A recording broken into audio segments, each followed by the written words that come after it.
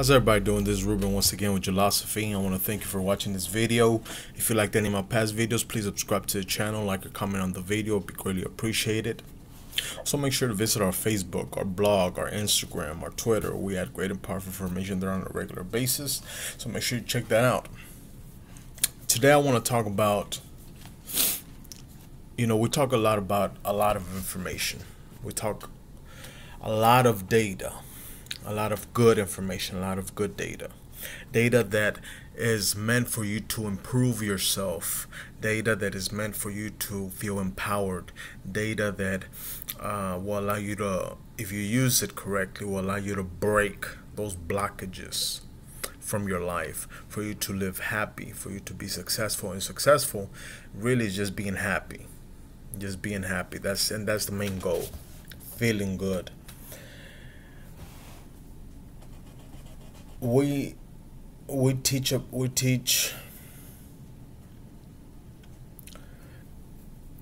that you really have to sort of ingrain this information within you. You have to make this information a part of you. Live this information. Be this information, not just have it in your head as knowledge. And to really learn this information, and and have it ingrained within you ingrained into your dna so you just do it. And that's the whole point doing it just doing it not even thinking about it. One of the great ways is by spaced repetition as i have talked about listening to this information over and over and over and over again meditating on this information over and over and over and over again. That's how we learn anything and everything right? You learn how to eat how to brush your teeth how to tie your shoe we learn how to walk, how to, you know, like I mentioned, talk, uh, drive, whatever. Space repetition, doing it over and over and over again. But there's a the best there's the best way to learn it. And what is the best way to learn this information or any information? And that's by teaching it. By teaching it. When you teach it, you that's the best way to learn it because when you teach it, you're not only you're you're speaking it, and you're speaking it, and and you're thinking about it. The neural pathways that are going on in your brain are are, you know, are being formed in gigantic ways. So many neural pathways are being formed in your brain because when you got to think about it, and then you know you're building that neural pathway, then you you speak it, you're building that neural pathway. Um, you know you're explaining and you're getting deeper sort of like you're traveling through your neural pathways from the ones you've learned and the ones you're creating as well. Because i believe that when you speak you also you know you have access to other data other knowledge that you may not have at the moment. Have you ever just talked and like something came out and you're like where did that come from? Like you said something so you know you maybe said something like really funny or, or something real like knowledgeable or something you're like where did that come from? I believe we have that access you know if you want to say you know you have that connection to god or you have the connection to the universe whatever i believe we have that access. And you could you could say that. So you're building all types of neural pathways because just your hand movements like i'm doing right now the hand movements the speaking the moving of my lips the, the, the, the whole tongue the vibration coming out all the all these neural pathways are, are being formed in my brain on, on a tremendous level and that is why learn teaching it is the best way to learn this and who you know you may ask who do i teach it to or who do you teach it to well, at the beginning, when you're learning this information, you can't really teach it to other people because you don't know this information. If you try to teach it with what you heard, you'll muddle up the water. So you have to really be proficient in this information before you teach it to others. But you can teach it to yourself. And once you teach it to yourself, you get more knowledgeable in it, more comfortable in it. You you know, you are more knowledgeable in it. And once you get to that moment, then you can teach it to others. Maybe give some or give a piece of advice.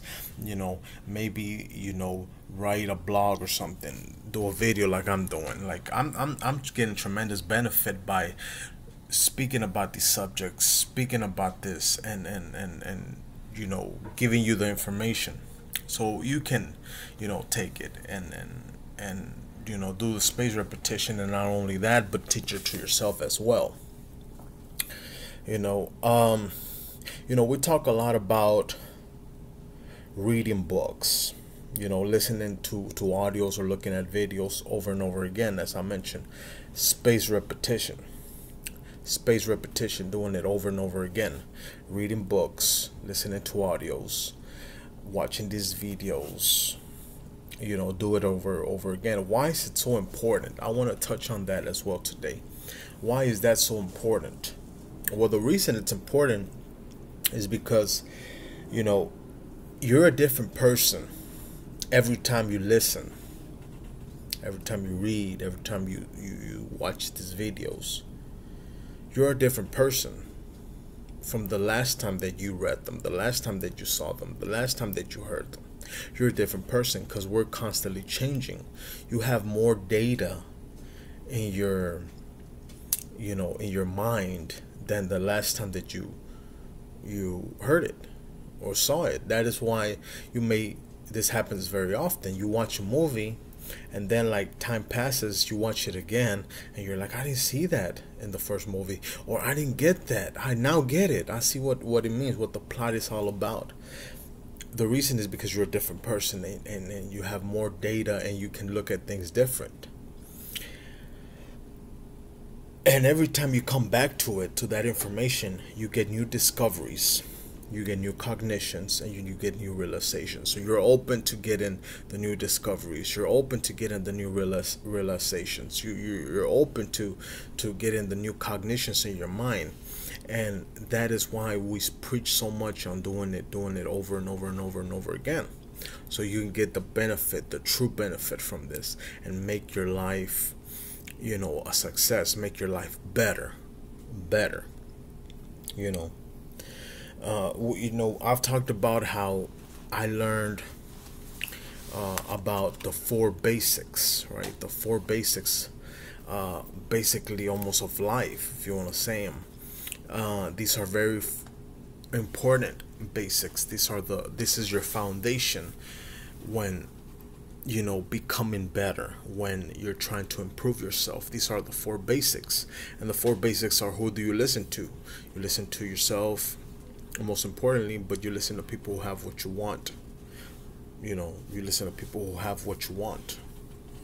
Most importantly, yourself, but you listen to people who have what you want. Two, teachability index. What's your teacher? You know, your your your willingness to learn.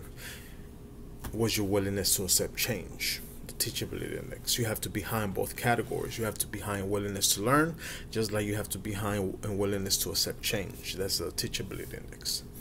Uh, basic number three is the training balance scale. There's a scale in your mind, where is that thought process, the thoughts, the emotions, the ideas, everything that goes on in the mind. Then you have the actual actions where you go and do things, you go and, and, and physically move, move and, and, and do things, get things ordered.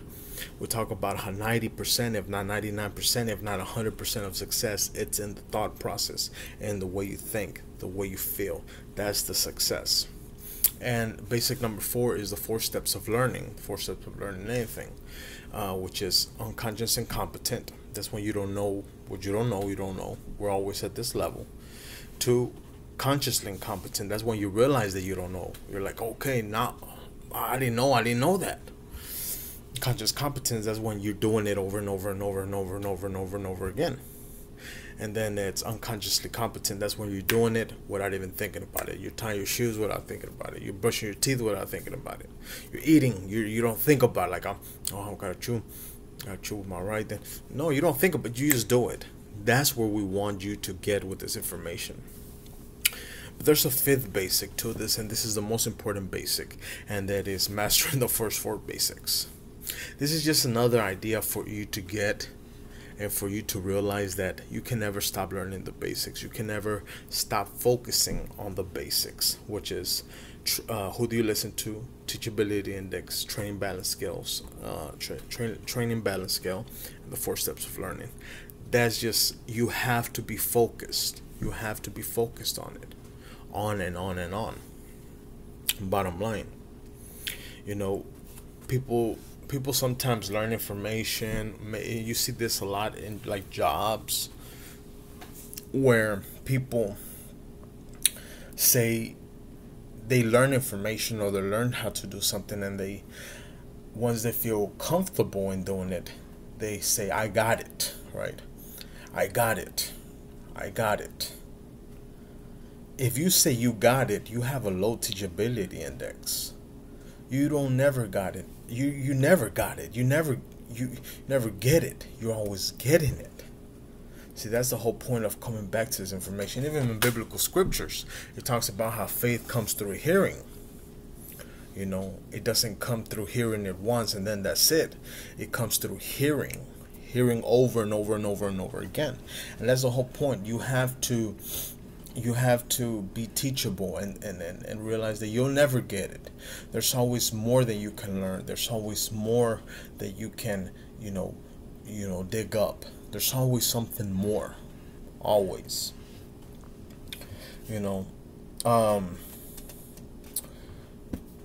and and you know, getting back to the whole thing, you know, as we talked about uh Earl Nightingale. Earl Nightingale was a motivational speaker in the 60s, 70s and to this day he's being heard. He, his his audios are, are, are you know all over the world, and he had great audios, great motivational audios, audios that inspired you, audios that allowed you to realize that you need a goal in life, that you can improve in life, that you can become better.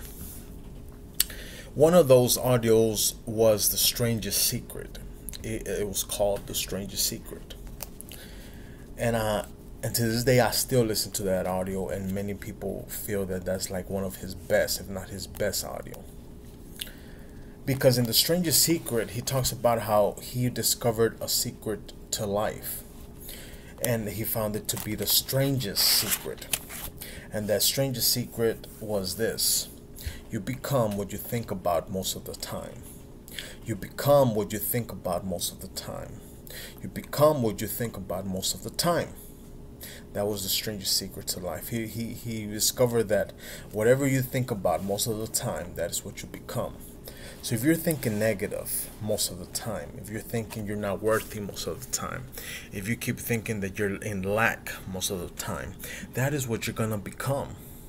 This goes back to even Earl Nightingale in the 60s talking about it. That's just the way life works. That's the way it the universe works your thoughts, the way you think, that is what you become. That is why, if you have a crappy attitude, and that is why positivity is preached so much in the motivational field, in the self help field. And positivity is always like the, the thing that, and it's really not, it's just getting your attitude right, making you feel good, making you yourself think right, and that will make you feel good. Once you do that, you become what you think about most of the time. You have positive thoughts, you have belief in yourself, you, you empower yourself. This is why we say listen to these audios over and over again. Watch these videos over and over again. Read the blog over and over again. Go to the Facebook page, read the posts over and over again. Go to Twitter, read the little posts over and over again. Get yourself ingrained in this information wake up, listen to this information. Throughout your day, while you're cooking, listen to this information. While you're taking a shower, listen to this information. While you're driving to work, listen to this information. On your lunch break, listen to this information. Before going to sleep, listen to this information. You have to ingrain yourself. If you're starting, if you're starting listening to positive information, if you're if you're new to this, ingrain yourself in this information because your thought process process are not if you're not where you want to be in life then your thoughts are like in bad shape. It's like working out. Your your your body's in bad shape. You have to go to the gym constantly. Is the consistency that is the key. You know, another great man that wrote great information that we talk a lot about here in Ulosophy is Napoleon Hill. Napoleon Hill wrote a book called Think and Grow Rich. And in that book, he says something very profound that I really, really love and really like and has helped me. And that is, he says that whatever the mind of man can conceive and bring itself to believe, it can achieve. Whatever the mind of man can believe, well, whatever the mind of man can conceive, excuse me, can conceive and bring itself to believe, it can achieve.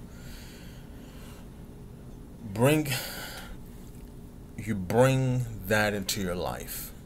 You want it. Whether it's a car, a job, a certain relationship, the way your relationship is, the way your marriages is, your job, great opportunity at your job, being better at your job, uh, uh, whatever it is, whatever the mind of man can conceive. And if you could bring yourself to believe, it can achieve. It can achieve. It can achieve. This is talked about throughout history, and and you know Napoleon Hill's a great author. I would suggest you read his book Think and Grow Rich. Um, but I would really suggest you read his book The Law of Success in 16 Lessons.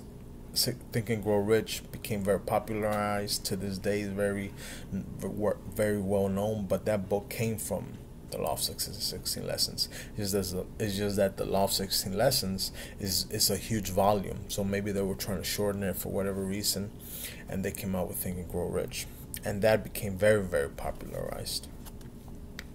You know, in 2005, 2006, there's a there's a, there was a DVD that came out and it was called The Secret. I don't know if you guys remember it. A book came out with it. I think the book came out first, and then became very pop popular, and then they made a, a DVD, and the in in the movie and in the book, The Secret,